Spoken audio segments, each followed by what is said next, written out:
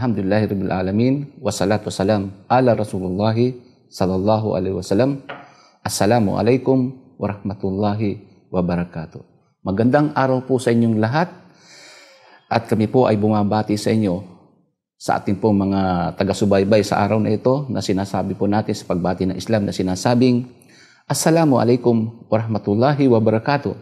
Ang kahulugan po niyan ay ang kapayapaan at ang pagpapala ni Allah ay suma inyo nawang lahat. Sa kasalukuyan, ang Pilipinas po at ang mga Pilipino ay napakarami pong selebrasyon na ginaganap. Katulad ng Pasko, Bagong Taon, Birthday, Valentine's. Ang particular po na topic na akin pong uh, bibigyan ng pansin sa araw na ito na ang mga Muslim ay karaniwan po ay napapasama sa mga ganitong selebrasyon. Ito pong ating pagtatalakay na ito ay para po sa mga Muslim at hindi Muslim. So ang pamagat po na aking pong ibibigay na tatalakayin sa inyo, yung pong mga selebrasyon na taliwas po sa relihiyon. Particular po sa selebrasyon ng tinatawag po natin na bagong taon. Bago po tayo magpatuloy, ay nais ko po munang basahin ang sinasabi po ng propeta tungkol po sa mga paniniwala at kapistahan.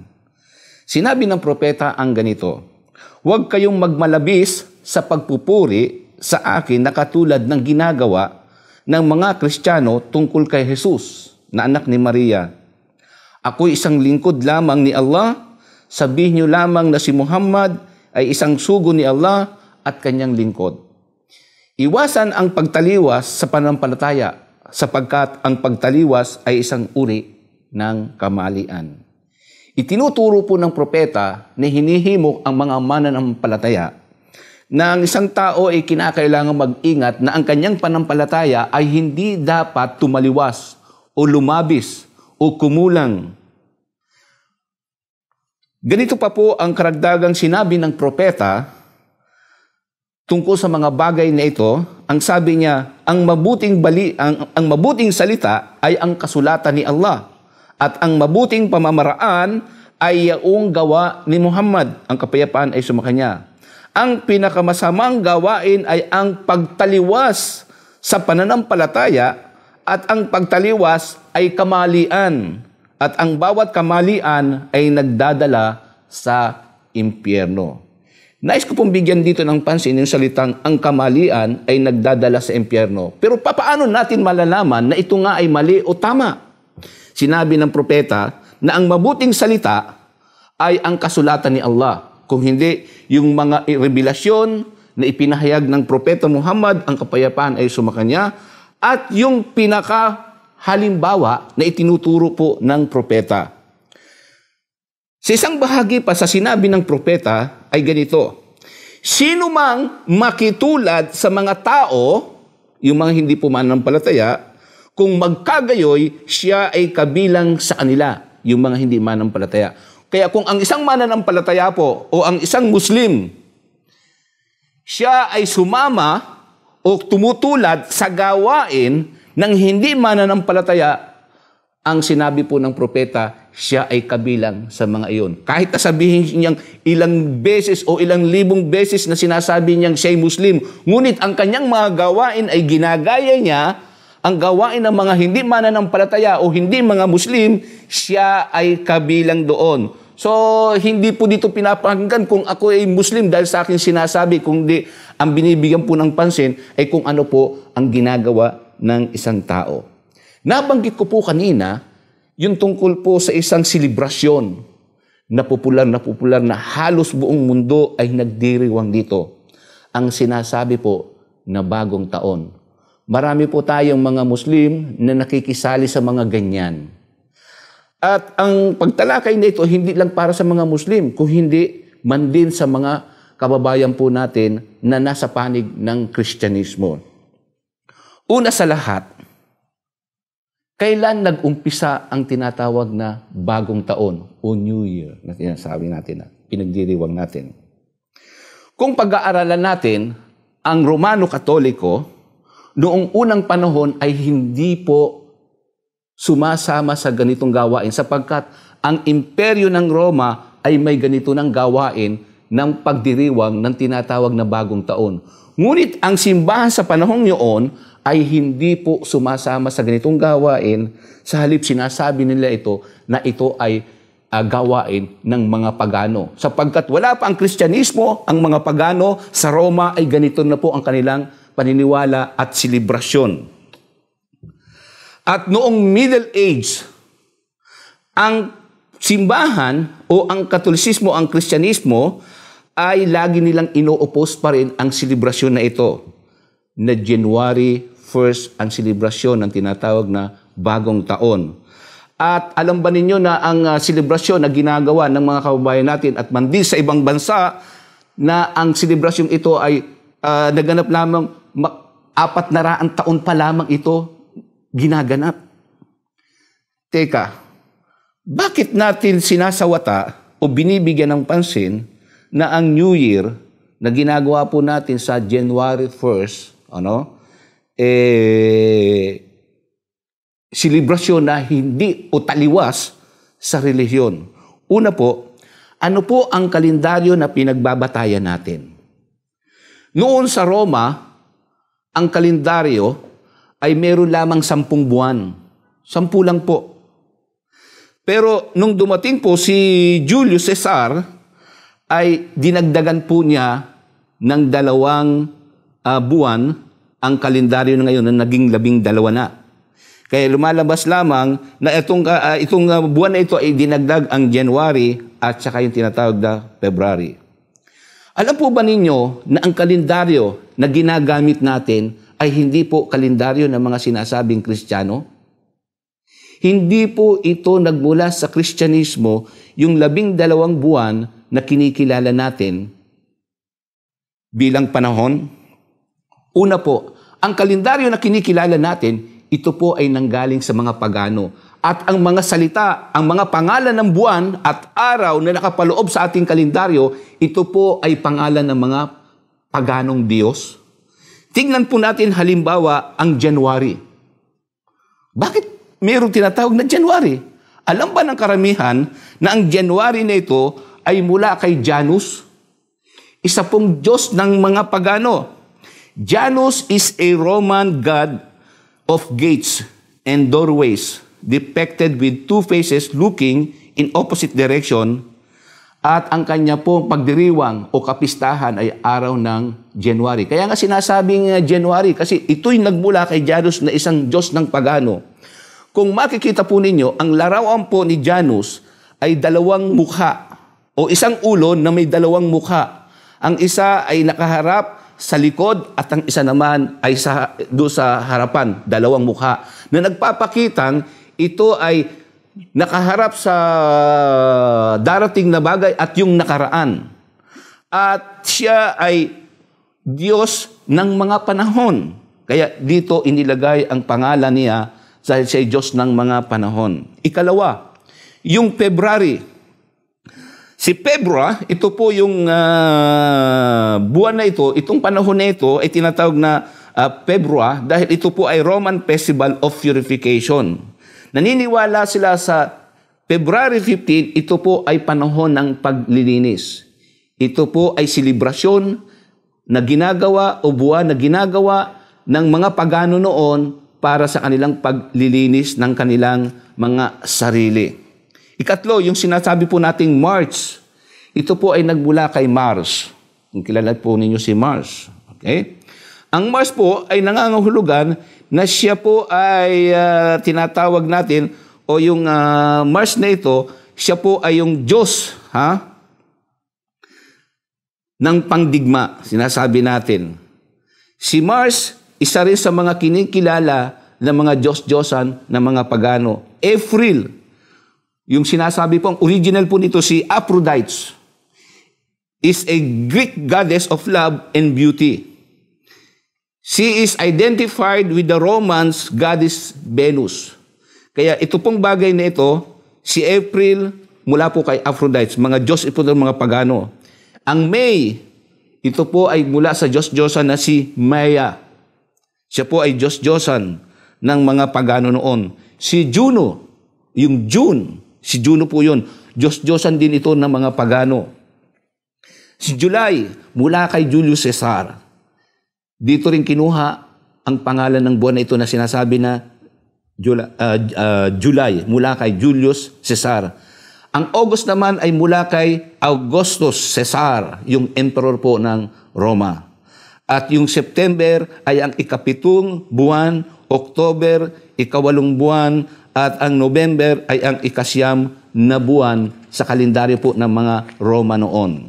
At ang December ay ikasampung buwan. Pero karamihan po sa mga bagay na ito, ito po ay naglalaman na ang ginagamit nating mga pangalan from January up to December, karamihan po dyan ay hango sa pangalan o ito po ay dahilan sa pangalan ng mga paganong Diyos-Diyosan. Meron naman tayong tinatawag na Monday, Tuesday, o yung mga araw natin. Tinatawag natin na Sunday. Bakit tinatawag na Sunday? Dahil ito'y nakaraan, ito ay dedicated sa Diyos na araw. Kaya sinasabi nating Sunday. Pagka Monday naman po, iyan ay tinatawag dahilan sa buwan na Diyos o Diyos na buwan. Kaya nilalagay natin yan. Ito ay lahat ng ito ay kumakapit sa mga Diyos-Diyosan ng mga pagano. Tuesday, mula po ito sa Diyos-Diyosan na si Teo. Siya po ay isang uh, Diyos na mandirigma. At uh, siya ay naninirahan o siya ang may hawak ng kalangitan. Wednesday, ito po ay mula kay Wooden Day. Sinasabi, siya rin po ay uh, Diyos-Diyosan ng mga pagano. Thursday, yung ito pong pangalan na ito na Thursday ay mula po kay Thor. Yung sinasabi natin is the God of Thunder. Ito po ay pangalan mula sa pangalan ng Diyos-Diyosan na si uh, Thor. Kaya nung ako'y bata pa noon, napapanood ako ng mga cartoons na sinasabing Mighty Thor. May sinasabing mga ganyan. Ito po yung pangalan ng Diyos-Diyosan. Dito po nanggaling yung salitang Thursday. At Friday, mula po ito kay Prig, isang Diyos-Diyosan sa mga Europa. At ang Saturday naman ay mula kay Saturn, isang Diyos-Diyosan ding pagano. Kaya sinasabi nating Saturday mula kay Saturn. Yan po ang mga bagay na makikita natin kung ano po ang kalendaryo na atin pong pinagbabatayan. Kaya, itong bagay na ito, na nagbibigay tayo ng selebrasyon tungkol sa tinatawag na New Year's Day, ito po ay bibigyan natin ng pansin na ang New Year's Day ay nakaugat mula kay Janus. Nabanggit po natin kanina na si Janus ay may dalawang mukha. Mula nakaharap sa harapan at sa likuran. Ibig sabihin, naganap na at ang future. Ay Diyos ng panahon o Diyos-Diyosa ng panahon noon sa Roma. Si Julius Caesar ang naglagay ng January at February. So sa bagay na ito, dahil minamarapat niya na ilagay ang, uh, actually ang kalendaryo ng unang panahon, ay ang nag-uumpisa po ay March. Dinagdagan niya ng January at February. At inilagay niya si Janus bilang pangunahing buwan dahil siya ang kumakatawan sa panahon. Si Janus o January, na sa kanya ikinapit yan, siya po ikinapit ang selebrasyon na yan. Kaya sa mga bagay na ito, tayo po ay magpapatuloy, mga ilang sandali, upang talakayin natin kung ano ang papel sa kalendaryo ng tinatawag na January mula po sa Diyos-Diyosan na si Janus. Mamaya po, ipagpapatuloy po natin at sa sandali po kami po magbibigay ng paalala sa inyo.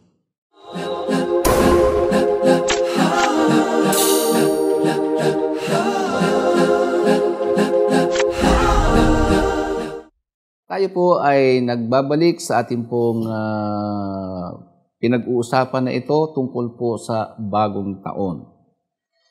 Akin pong nabanggit ang isa sa mga kawikaan ng propeta ukol po sa mga bagay na pagtaliwas. Ibig sabihin ng pagtaliwas, ito po yung uh, humihigit o kinukulangan ang pananampalataya. Katulad ng nabanggit ng propeta na sinabi niyang, sino mang makitulad sa mga tao o yung mga hindi po manampalataya, kung magkagayoy siya ay kabilang sa kanila. Napagtunan po natin ng pagpansin sa una po nating natalakay ay tungkol po sa tinatawag natin na bagong taon na ito po ay uh, nalaman natin ang tungkol sa origin ng uh, selebrasyon na ito na ang kalendaryo ay mula po uh, sa mga sinaunang pagano at ang mga pangalan ng nasa kalendaryo natin ay mga pangalan po ng mga pagano, ng mga Diyos-Diyosan ng Roma noon. Noong uh, 19 uh, o noong 1946 o 46 BC, ang emperor na si Julius Caesar ay inestablish niya ang tinatawag na New Year's Day. Siya ang nagpanukala nito. Dahil naiisip niya o nararamdaman niya na si Janus, na dito nagmula ang pangalang January, ay isang appropriate na gamitin ito sa kanya na siyang pinakapintuan ng panahon. Kaya, Janus, kaya inilagay ito sa kanya. Ang mga tao noon sa Roma, kapag sila ay nagdiriwang nito o nagkakaroon ng celebration nito, wala po silang ginagawa kundi mag-inuman. Ha? Dito unang naganap yan, sa panahon na yan. Nagiinuman sila.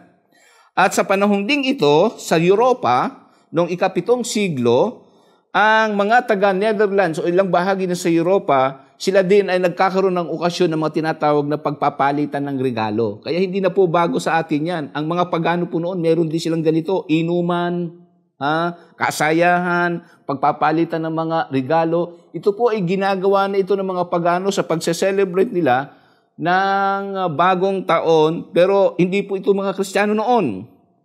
Pero sa ganang atin sa ngayon ay nadagdagan pa sapagkat hindi po natin maikakaila na ang mga kababayan po nating Pilipino sa pagsapit ng bagong taon ay marami po silang mga pamahiin.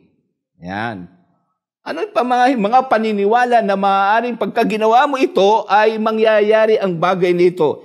Isa-isahin po natin. Ang bagong taon, sabi nila, bagong buhay, na inaasahan na kapag dumating ito ay may bagong pag-asa. Kaya naman sa araw ng uh, pagpapalit ng taon, ay abala ang mga kababayan po nating Pilipino sa paggawa ng mga nakagawian nating mga, mat- uh, na mga nakatatanda sa paniniwalang magdudulot ito ng swerte sa pagpasok ng bagong taon. Bagaman ang mga Pilipino ay higit na nakararami ang mga Kristiyano o mga Katoliko, karamihan ay tinatangkilik pa rin ang mga pamahiin sa panahon ng bagong taon. Napakarami ang pamahiing Pinoy kapag sumasapit na ang Pasko. Sagana rin sa mga katutubong pamahiin ang mga Pilipino kapag dumarating na ang bagong taon. Sa isang aklat po na 1,001 o isang libo at isa na katutubong uh, pamahiin na isinulat ni Julio Silverio, ay babanggitin po natin yan upang mabigyan natin ng pansin ang mga pamahiin ito na bukod sa mga pagano noon ay meron din silang mga pamamaraan ng ano, ngunit nadagdagan na. Halimbawa po ang mga pamahiing Pilipino, bago sumapit ang bagong taon, kailangang sagana ang inyong tahanan ng tubig, asin at ibigas upang maging maunlad ang inyong kabuhayan sa buong taon. Pamahiin po yan. Ikalawa, iwasan ang gumasta ng kahit na isang pera sa araw ng bagong taon at maging malinis din ang katawan sa araw na ito upang mabuenas sa buong taong hinaharap. Kung gayoy, gagasta lamang ng kayo magiging gastado sa buong isang taon. Kapag ka tumugtog na ang ikalabing dalawa o yung kampana o yung uh, labing dalawa ng hating gabi bilang uh, hudyat ng bagong taon, buksan ang lahat ng inyong mga bintana, kahon, pinto, aparador, upang sa gayon ay mapuno ang mga ito ng mga uh, mga biyaya sa mga taong hinaharap. Yan. Yan ang kanilang mga paniniwala, pamahiin. Sa gabi ng bagong taon, kapag ang inyong aso ay tumahol ng ikalabing dalawa ng hating gabi, magdaranas kayo ng iba yung kahirapan sa buong isang taon. Ito pamahiin ito. Kapag ang araw ng bagong taon ay tumama sa araw ng biyernes, magkakaroon ng maraming sakuna sa buong taon. Kapag ito naman ay tumama sa araw ng Sabado, magiging maunlad at masagana ang buong taon. Sa pagtugtog ng labing dalawang taon, hating gabi, bilang hudyat ng bagong taon, kailangan ang mga pandak ay magsilukso o magsilundag upang maragdagan ang kanilang mga taas. Kailangan ding hilain ang mga pangong ilong upang ito'y tumangos. Yan po yung mga medyo nakakatawa, no? Pero anong kinalaman ng bagong taon sa mga bagay na ito sa ating pisikal? Masama, isa pa sa mga pamahiin sa bagong taon ay masama sa isang tindahan ang nagpapautang kung araw ng bagong taon. Kaya huwag kayong magpautang sapagkat hindi ito magkakaroon ng mabuting benta sa buong taon bagkos puro utang ang mangyayari. Ah, isa pa, kapag umulan sa araw ng bagong taon, ang buong buwan ng Enero ay magiging maulan din. Iwasan ang pagiging magagalitin sa araw ng bagong taon upang maging maayos ang inyong kalooban sa buong taon. Bubinesin kayo o magka-siswertihin kayo sa buong taon dahil kapag ang naging unang bisita o panauhin ninyo sa inyong tahanan sa araw ng bagong taon ay lalaki. Kapag babae naman, nako, malas daw anya.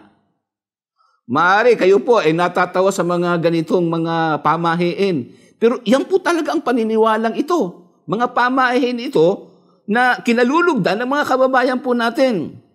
Kapag sa araw ng bagong taon, ng unang taon, nakasalubong ninyo sa daan ay nakadamit ng itim, ang may sakit na tao ng inyong tahanan, kung magkayod gayon man, ay madaling mamamatay.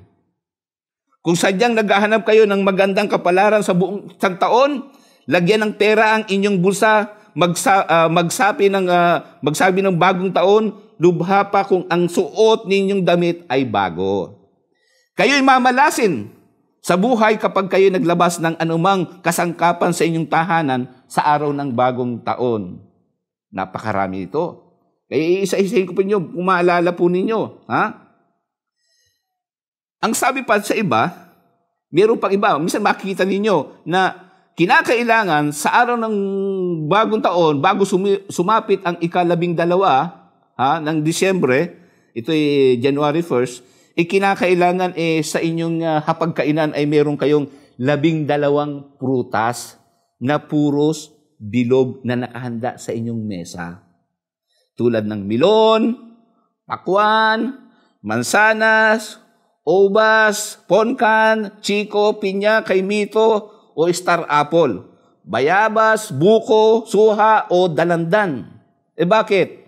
Meron diing nagsasabi ng labing dalawa o labing tatlong piraso ng ubas sa pinto at bintana. Naglalagay din sila.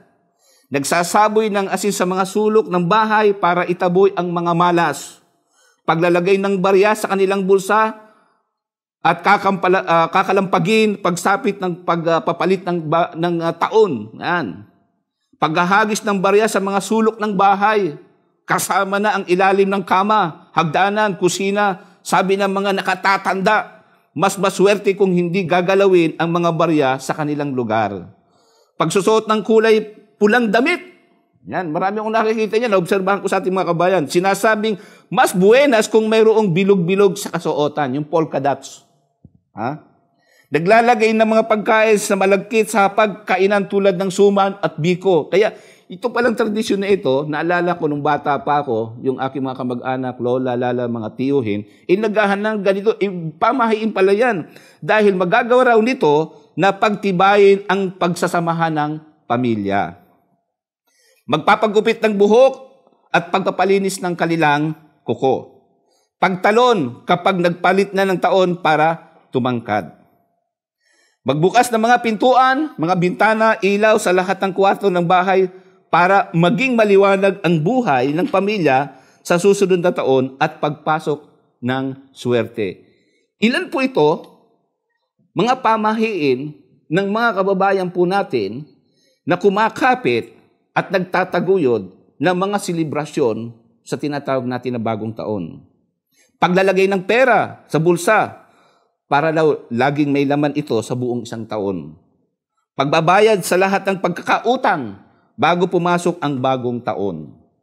pag-iingay sa magitan ng pagpapaputok, pagbubusina, pagpapatunog ng kampana para maitaboy ang mga masasamang espiritu. Kaya mamaya tatalakayin po natin kung ano po yung mga pinsala na nagaganap. Sa halip na sabi niya, siswertehin, ano pang nangyayari? Na, puros aksidente ang nangyayari.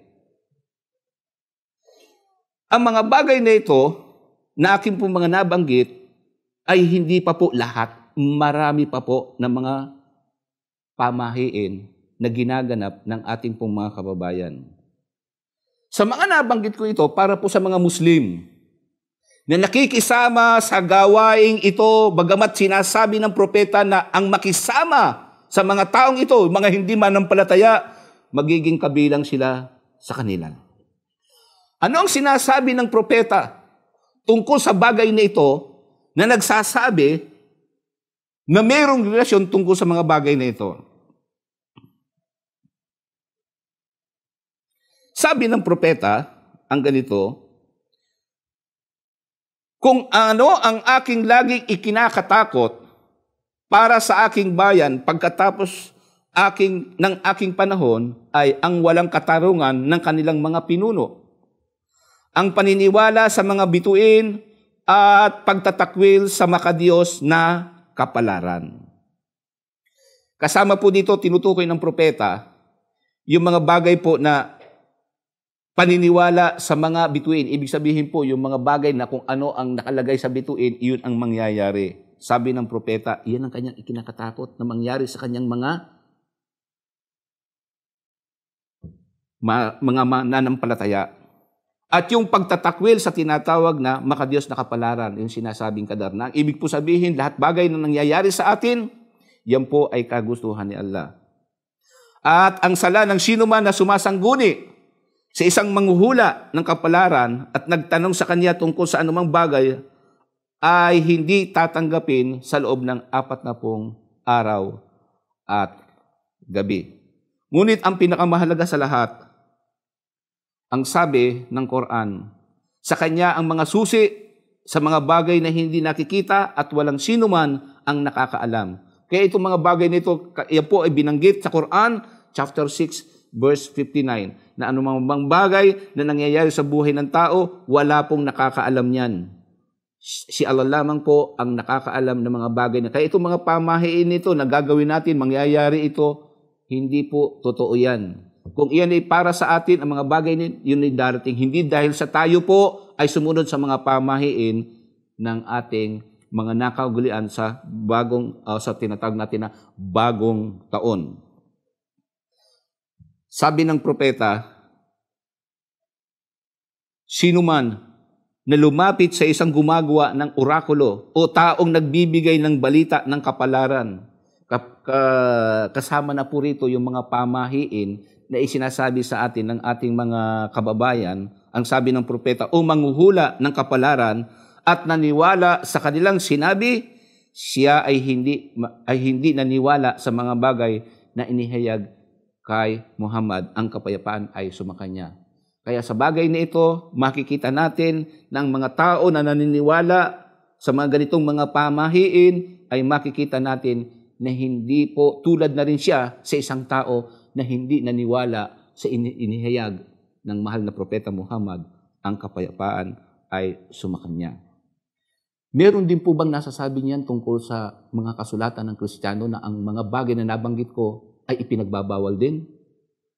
Sa susunod po na pagtalakay natin, atin pong bibigyan ng pansin ito na sumandali tayo po ay muling uh, sandaling magpapaalam at kami po ay magbabalik ng ilang sandali. La, la, la, la, la, la, la, la, la.